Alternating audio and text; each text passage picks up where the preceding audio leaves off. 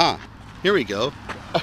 I actually am guilty of this. I walked right by this, so interested in the rock we provided that I didn't even notice all the ant holes developing here.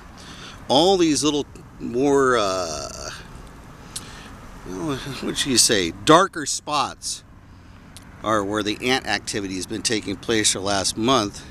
Just had a rainstorm and we can see knock knock anybody down there? Should be able to get some ants coming up out of here. There we go. So the ants are having a field day here with the stabilized DG.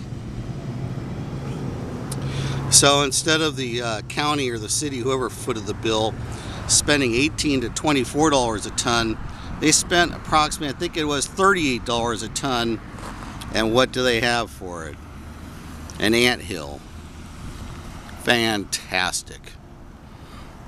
And I'm sure that I'll get a good explanation of this from Gail's. Somewhere along the line, it all has to be the contractor's fault, isn't it? Is that what we're going to say? They didn't follow the installation directions properly?